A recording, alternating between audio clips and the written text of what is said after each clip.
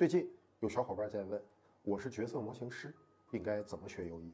今天就结合过往的工作经历，跟大家聊一聊角色模型师需要掌握的 UE 技能。UE 技能的提升主要来自三种动力：技术驱动、应用驱动和用户驱动。技术驱动主要锻炼基本功，就好比足球场上的中后卫，需要练好体能、力量、弹跳、停球、铲球、射门这些基本功。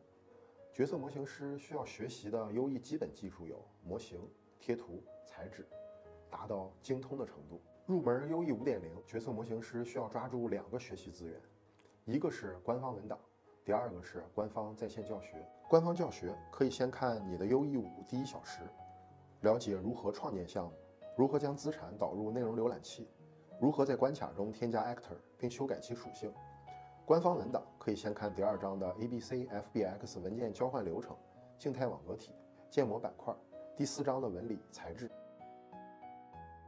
如果不知道怎么进入官方文档和在线教学，可以评论区或私信留言。应用不驱动主要训练团队协作能力，就好比足球场上的中后卫，要练好传球、无球跑动、造越位、二过一这些需要跟队友配合的技术。角色模型师需要学习的优异协作技术有 SVN、绑定、毛发、灯光，达到熟悉的程度。官方文档可以看第二章的骨骼网格体、毛发渲染和模拟，第三章的灯光。官方教学可以看 Control Rig、IK Retargeting。用户驱动主要培养服务意识，就好比足球场上的中后卫，不仅要兢兢业业赢得队友的信任，还要全力以赴对得起来现场加油助威的球迷。之前的视频讲过优异生产的数字内容需要产业链分工、上下游协同才能完成制作。角色模型师通常扮演着上游资产供应商的角色，做好的模型具有原材料属性。交给下游小伙伴或下游厂商后，至少还要经过六至七道工序，才能做出最终的数字内容产品。优异出现之前，数字内容的生产是原材料流水作业，生产周期长。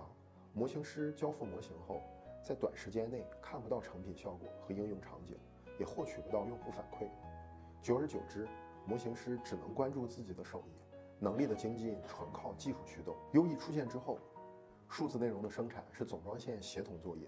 模型师交付模型后，很快就能看到成品效果，获取应用反馈。能力的精进靠用户驱动。最后我想说的是，用户驱动是价值的源泉。决策模型师利用优异培养自己的用户驱动思维，一定能赚到钱。